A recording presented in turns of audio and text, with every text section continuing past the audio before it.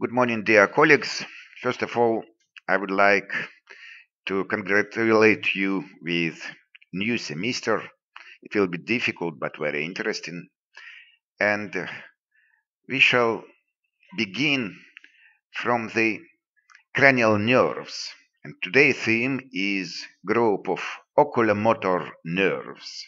That means third, fourth, and second pairs of cranial nerves.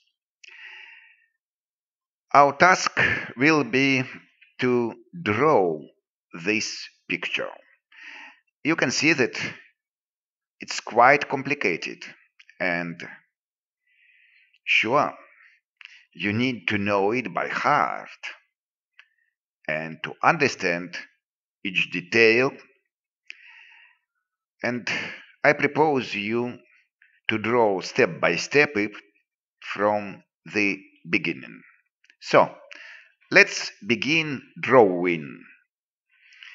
Oculomotor nerves, it means they move eyeballs. That's why we can see here two eyeballs and eyelids. And you can understand that this person, which see upon you from the screen is very serious. You can see that pupils are dilated and that means it's very nervous, it's very attentive. And now we shall draw the part of brain stem where the nuclei are located. This material is familiar to you and you can recognize that this is rhomboid fossa and uh, abbreviation which we used in last semester PCS, it means pedunculus cerebellaris superior, PCM, it means pedunculus cerebellaris medius, and uh, PCI, pedunculus cerebellaris inferior. Uh, then later we shall use also the list of all designations. That's why just now it's enough for you only to draw and uh, to uh, designate with abbreviation and later you can uh, write down the meaning of each abbreviation. Now what we can demonstrate. Here it is four collicles which is dorsal part of the mesencephalon. And uh, letter E in Russian, it's mean epithalamus or corpus uh, corpus pineale. This is diencephalon. And uh, from the left side, you can read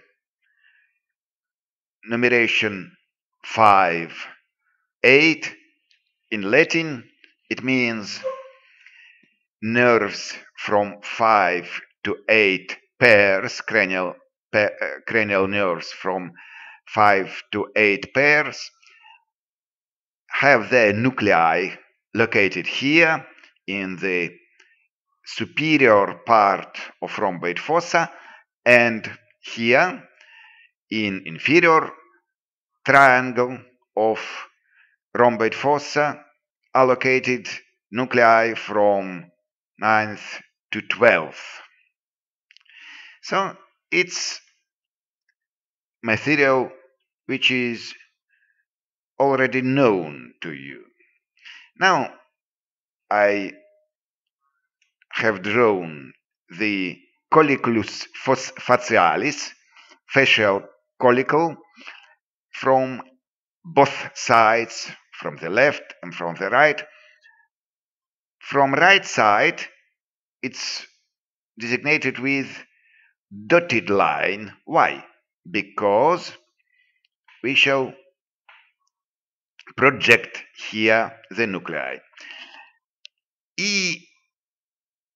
EM, what is it? Abbreviation EM, eminentia medialis.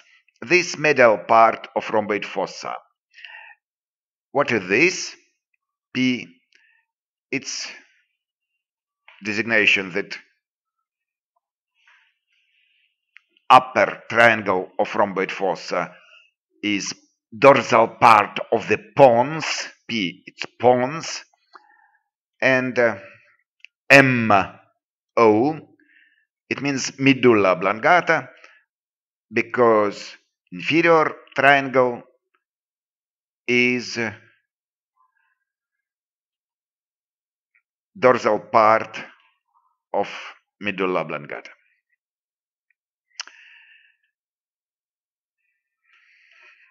And you remember that this most inferior part of rhomboid fossa is so named calamus scriptus. That means pen for writing. And you remember that it consists of two paired um, triangles, trigonum hyp hypoglossum and trigonum nervi vagi. So we remember it. Uh, all the details of rhomboid fossa structure.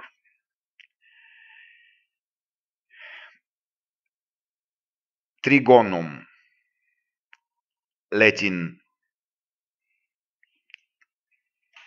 number 10 means trigonum nervi vagi and trigonum hypoglossi sign of triangle and number of 12 pair. Case sieste, what it mean? What does it mean? It's calamus scriptus. This for triangle looks like pen for writing, calamus scriptus. So, we finished remembering of structure of rhomboid fossa. And now the nuclei of oculomotor nerves. First of all, we designated motor nerve of nervus oculomotorius and the name of it nucleus nervi oculomotorius nucleus nervi oculomotorius.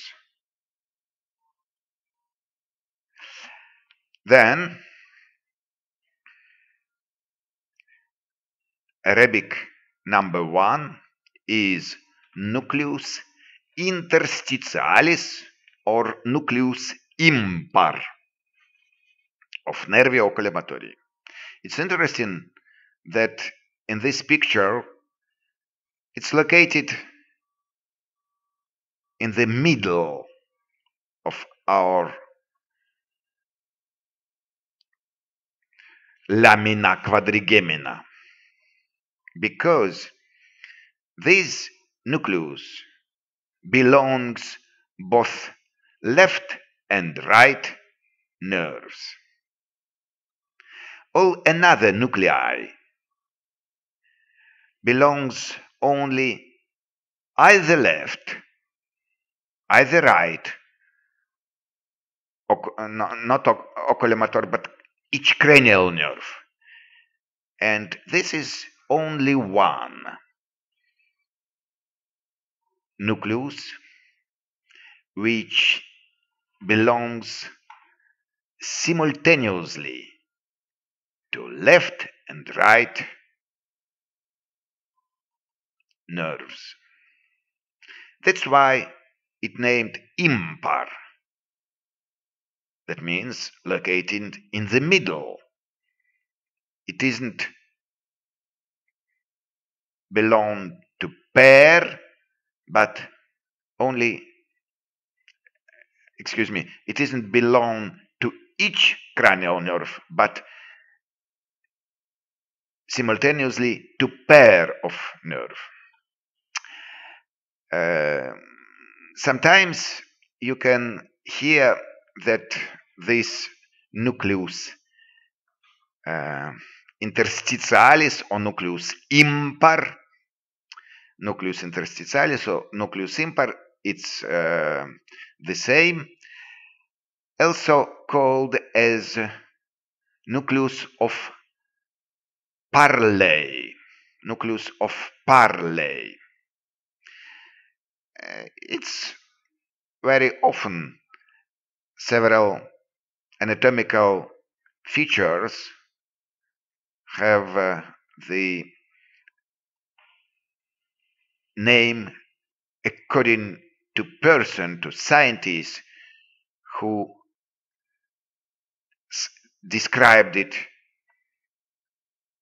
in detail. And uh, now uh, number two now you can see that it's paired nuclei it's nucleus accessorius nucleus accessorius nucleus accessorius in russian uh, textbooks usually named as nucleus of Yakubovich. Nucleus of Yakubovich. But in foreign textbooks, sometimes you can see that it's called nucleus of Westphal and Edinger. Westphal Edinger nucleus. Practically it's the same. It's also synonyms.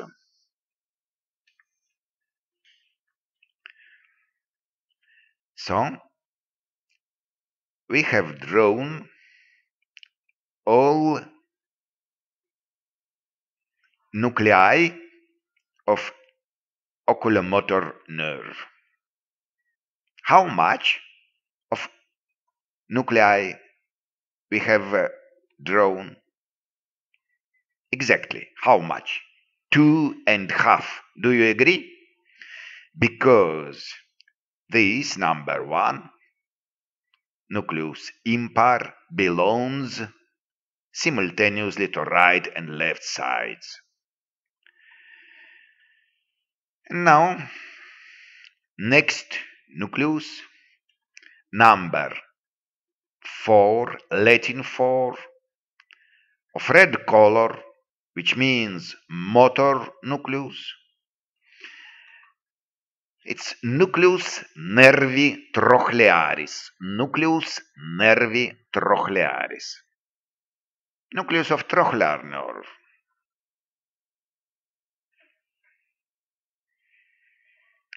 And uh, now nucleus nervi abducens. Nucleus nervi abducens. What we should uh, to add when we explain about nucleus of sixth nerve, cranial nerve. First of all, that it's located inside of CF, colliculus facialis. The second, that it's located inside of this inverted comma. This inverted comma is the nucleus of seventh nerve, nucleus nervi facialis. So it's easy to understand that if any damage have occurred in this region, for example, trauma and then hematoma or any injury. In this situation, we can find several signs. One of the signs of the signs will be uh,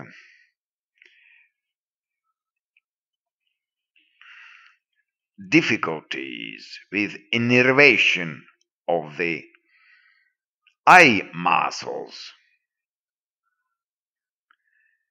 and so named strabismus. Strabismus is the impossibility to look straight. In this situation, one of the eyes will be directed in medial side. Strabismus when two eyes looks not straight but one of the eye eyes is directed in medial side strabismus convergens and uh, second sign will be the damage of the facial muscles. That's why one half of such ill person of one half of face will be able to express the feelings will be move. And second part of the face will be paralyzed it cannot move when the person want to make a smile for example.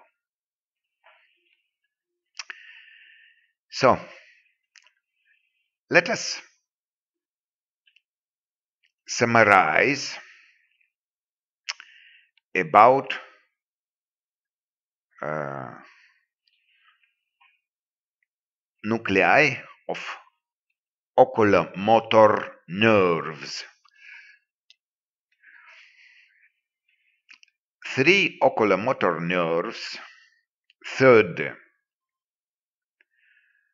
cranial nerve, fourth cranial nerve, and sixth cranial nerve, they have they have a,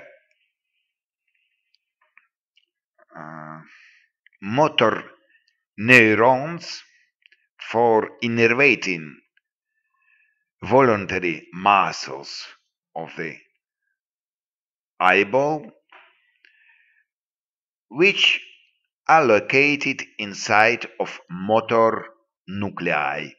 These motor nuclei are colorized with red color in our pictures. And one of these three nerves, exactly only nervus oculomotorius, third pair, beside of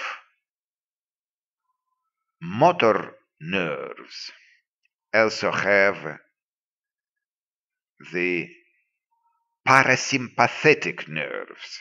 They are green in our pictures and they innervate the internal musculature of the eyeball. the muscles which located inside of eyeball.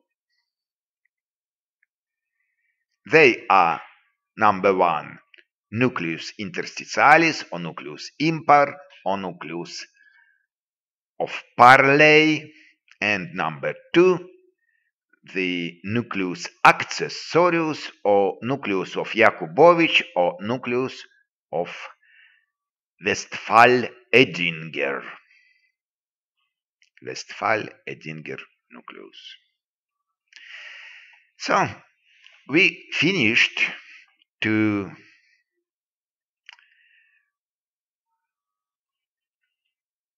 study the nuclei which will innervate the effectors, that means muscles of eyeballs. And now let us draw all the fibers. First of all, to draw the fibers, we need to know which muscles should be innervated. Now, I have drawn number 4. This is muscle which is located upward to the eyeball. Muscle of upper eyelid, so named musculus levator palpebrae superior. Musculus levator palpebrae superior.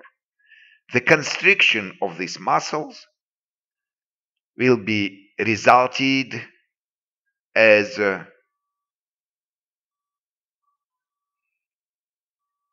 movement of upper eyelid upward. Upper eyelid will be moved upward. It isn't uh,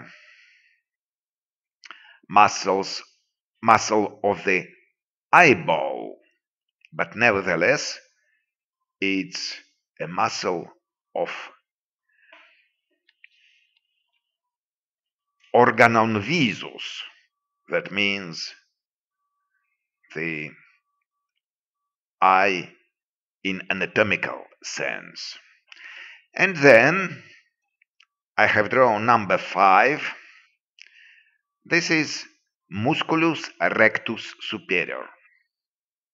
Around the eyeball we can find four muscles which named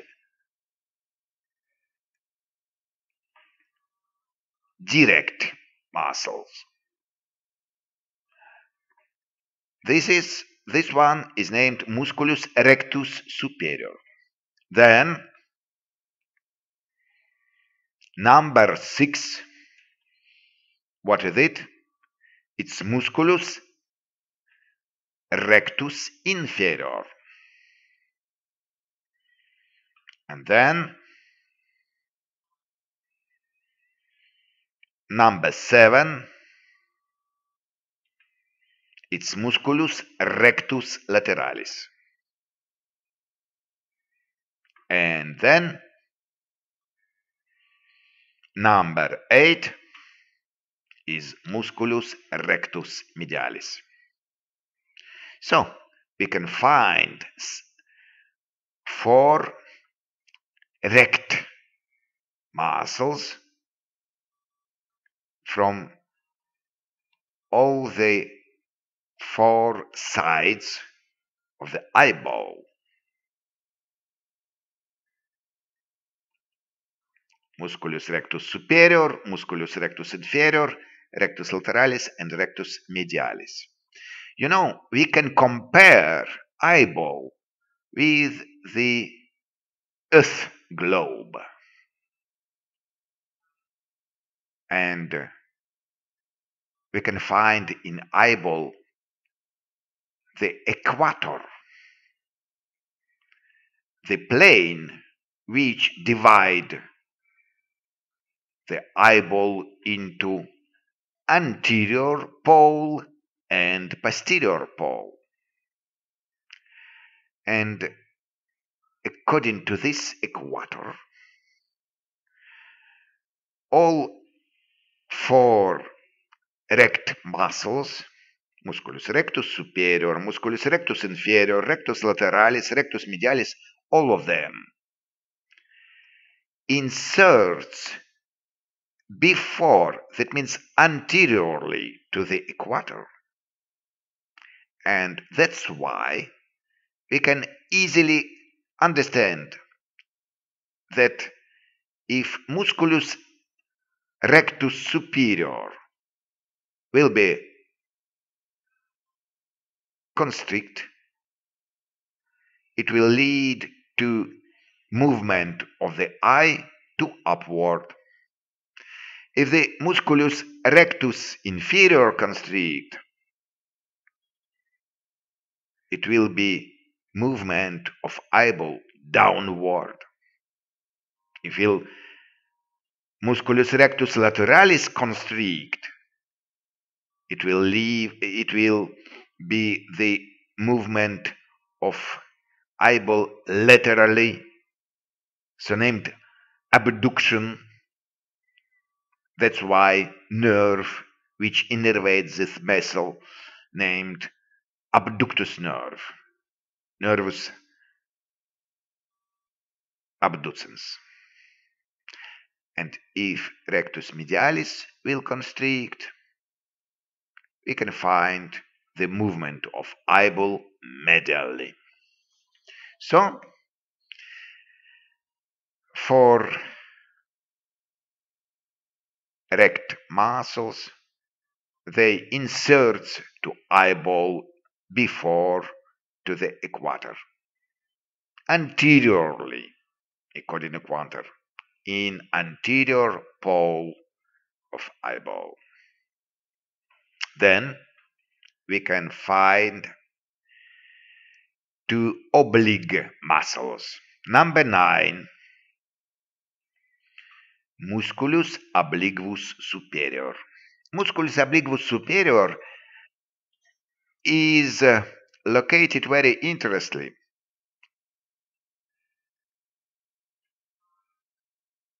It is from medial upper side of orbit. Later, we can see it on the special picture. And now, musculus number 10, musculus obliquus inferior. Musculus obliquus inferior. So, may I ask you, how many external muscles of eyeball do you know? I'd like you to say, we know six external muscles of eyeball, four rect muscles and two oblique muscles.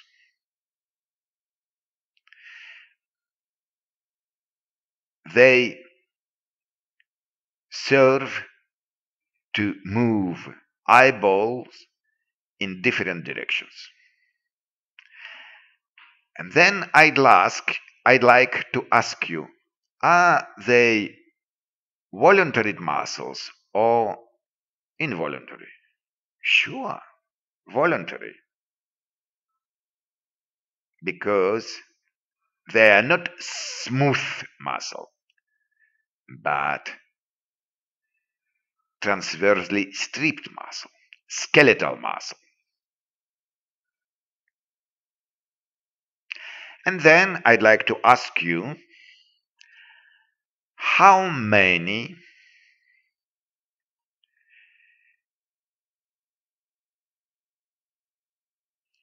transversely stripped muscles are located inside of the orbit.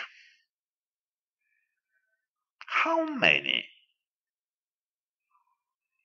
of skeletal muscles are located inside of the orbit?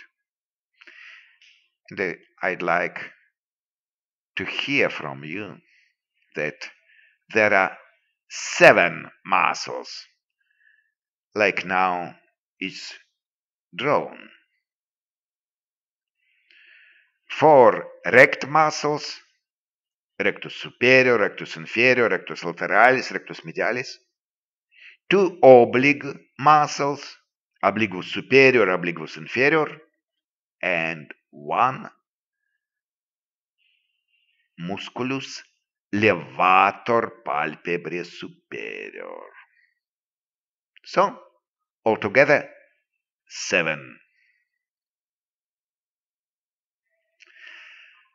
All of them are located inside of the orbit around the eyeball. And now we should know what fibers from what nuclei innervate these muscles. Let's draw this structure from dotted line and designated FOSS, fissura orbitalis superior. This is special cavity which connects the middle cerebral fossa and orbit. Through it, practically all the oculomotor nerves pass to the orbit, pass to their nerves, to their muscles. Fos fissura orbitalis superior. And now the nerve fibers exactly. First of all, we shall draw this fiber which starts from nucleus nervi oculomotori and pass through passes through the fissura orbitalis superior. What is it? It's nervus oculomotorius. And it's interesting that it has uh, two ram branches, ramus superior, which designated 3a, ramus superior. Can you explain what muscles it innervates? Sure, number 4 and number 5. That means musculus levator palpebrae superior and musculus rectus superior. And then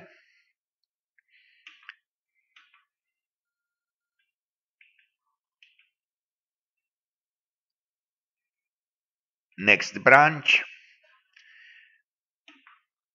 3b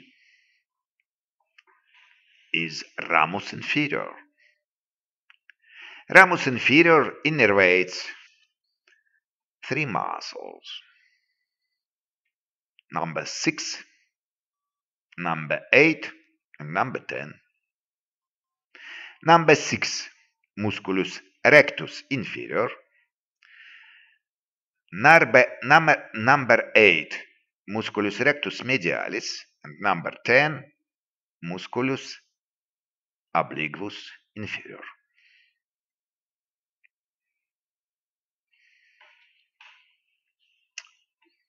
It's clear. So, can you explain me how many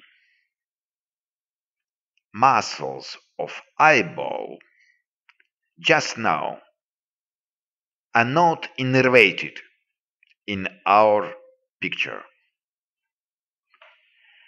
How many muscles we can see without innervation? Sure, number 9, musculus obliquus superior, and number 7, musculus rectus lateralis. With these muscles is very simple because each of them are innervated from several nerve. Musculus obliquus superior, number 9, will be move the eyeball because it passes through a special anatomical structure, trochlea.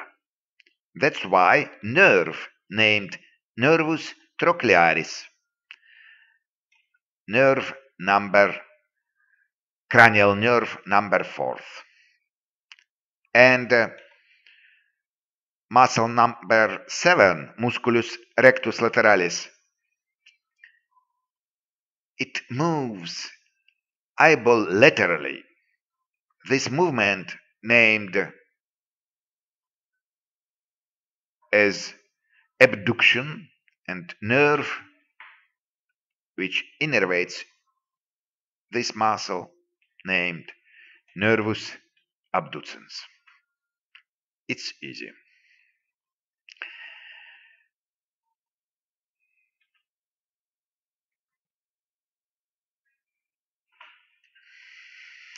But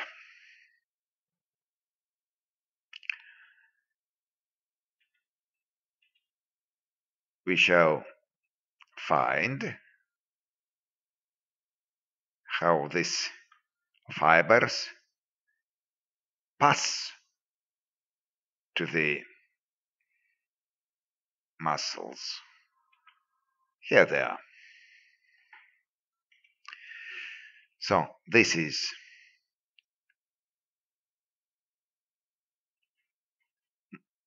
nervus abducens from nucleus nervi abducens it passes into musculus rectus lateralis. And this is nervus trochlearis which passes to the musculus levator uh, is excuse me to the musculus obliquus superior. May I ask you, through which anatomical cavity they enter to their muscles? I hope you will answer through fissura orbitalis superior. Both nervus oculomotorius, nervus trochlearis and nervus abducens, all of them pass through fissura orbitalis superior to their muscles. That means through fissura orbitalis superior, all nervous fibers reach their muscles which they innervate. And now, why we have these green nuclei? They are parasympathetic nuclei, which are necessary for innervating of smooth muscles, involuntary muscles, and we can find the structures which will innervate this intra internal muscles of eyeballs. First of all, I'd like to draw this structure which named as ganglion ciliare. The next time we shall discuss with you what is it. Ganglia. It means node and uh, nodes and uh, uh, vegetative ganglia they serve to locate inside of it the efferent neurons, effector neurons, the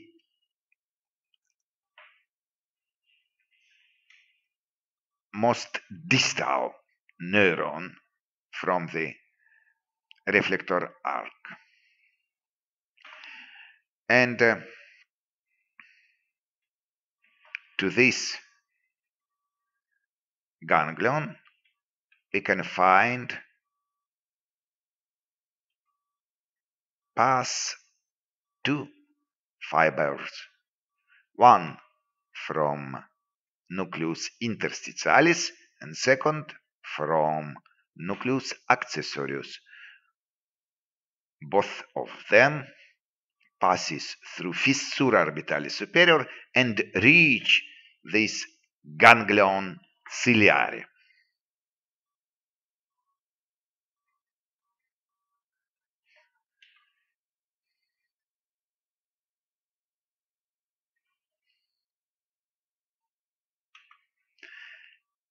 And then, inside of ganglion ciliare, we can find the effector. Nerves which send their fibers number 11 and number 12 which named rami ciliares brevis this rami ciliaris brevis, these fibers, enters through posterior pole into the eyeball, inside of eyeball, and will innervate two muscles, musculus sphincter pupillae and musculus ciliaris.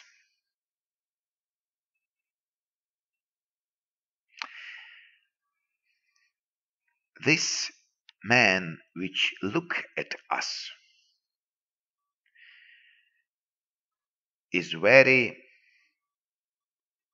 attentive. His eyes is dilated. Its pupils are very large. It means this musculus sphincter pupilla which will be constrict pupil, isn't work in this person at the moment, but another sympathetic nerves will dilate, not will, but uh, already have dilated this pupil. And second, parasympathetic efferent fiber, number 12, will innervate musculus ciliaris. Musculus ciliaris. It's very interesting muscle which help us to look at the close located uh, things, subjects. For example, just now when we are writing in your notebooks, your eyeball is uh, regulate your eyeball regulate the muscle which can help to see good all close related to your eye signs in your net uh, in your notebook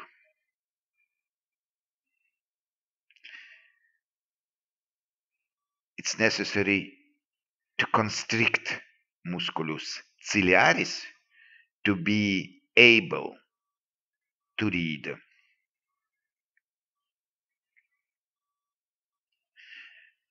I think you have seen which way the older persons read something. They try to place the paper in large distance from their eyes. Why? Because in elderly,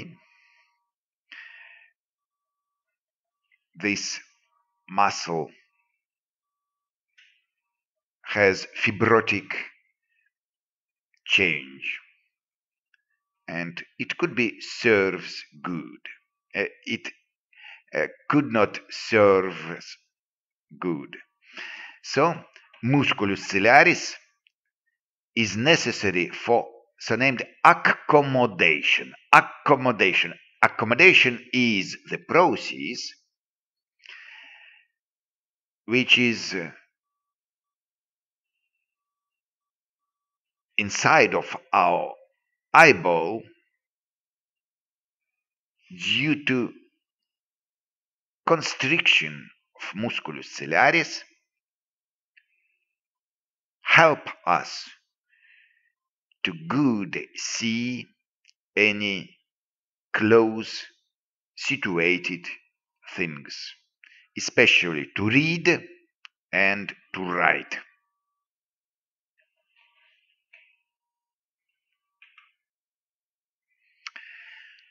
So we finished our picture. Now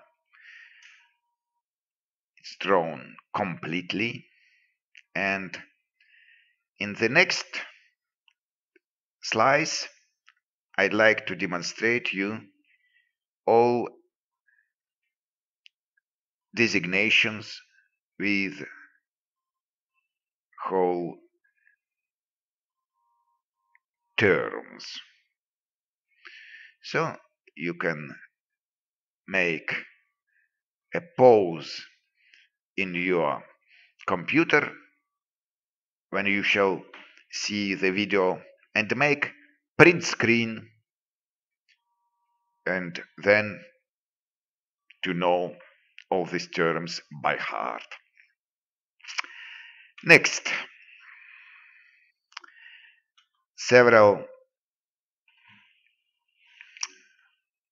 pictures to understand where these muscles are located. Here it is.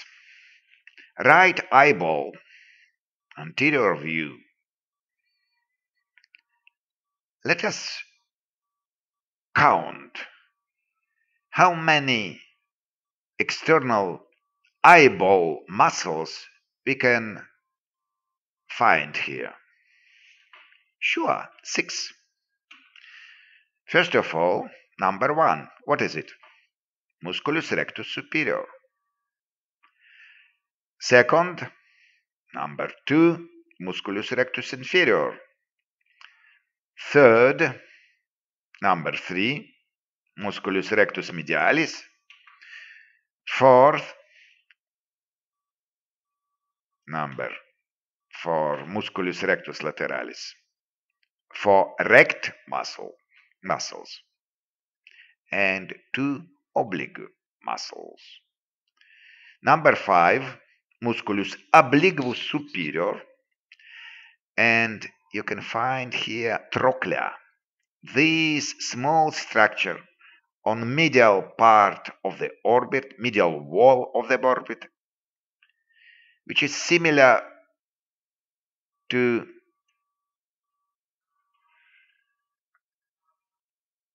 any construction, mechanical construction for lifting any heavy things. And this is musculus obliquus superior, and due to this small trochlea nerve which innervates this muscle called nervus trochlearis. Nervus trochlearis is fourth cranial nerve. And last, number six, is musculus obliquus superior, which starts from inferior wall of the orbit from medial part and inserts to the eyeball. So, anterior view, it's clear. And now the next slice muscles of the right eyeball from above.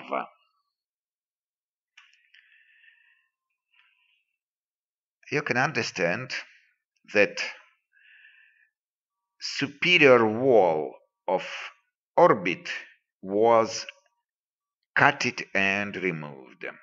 That's why we can see to the eyeball from above and let's to find each muscle. Number one, musculus rectus superior. Number two, where is number two? Above from musculus rectus superior. It's cutted here and we can't see the insertion because it inserts to the upper eyelid which was removed from here. Musculus levator palpebrae superior. They are parallel to each other and uh,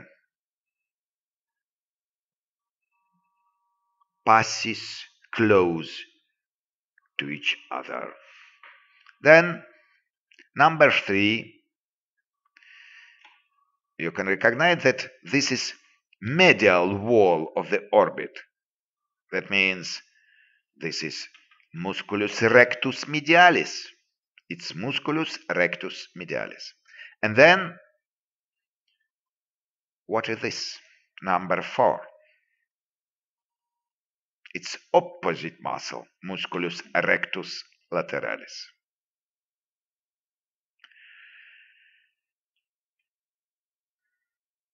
And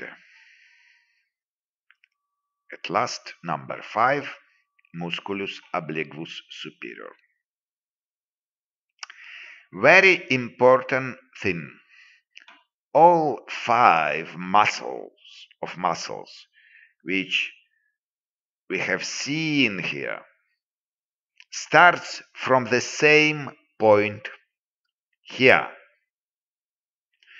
Its special tendinous structure which around the optic nerve, nervus opticus. So, five muscles of this picture starts from the same point. It's very interesting.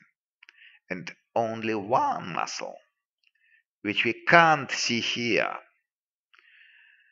musculus obliquus inferior, starts in another point. Now, number 6 it's the same musculus obliquus superior but but it tendo tendo musculus obliquus superior. And what is this this is trochlea this structure because uh, of which we call the nerve innervating this muscle nervus trochlearis. It's trochlea, nervus trochlearis. And trochlea is number seven. Here, trochlea. That's why nervus trochlearis.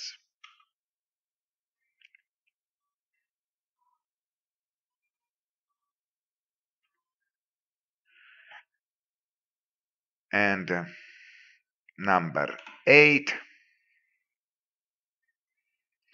musculus rectus inferior. Number 8 musculus rectus inferior.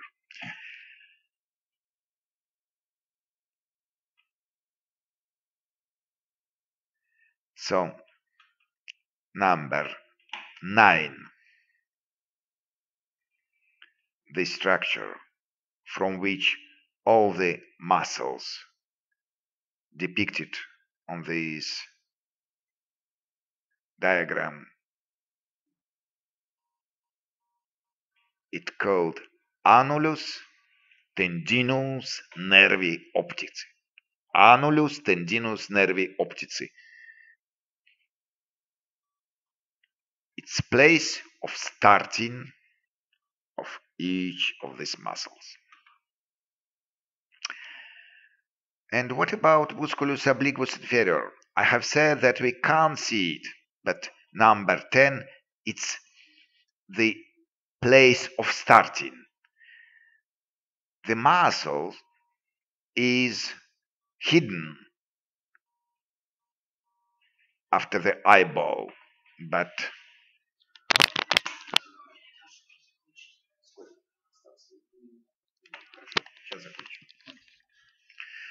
and uh, uh, we can see now only the start but not muscle itself.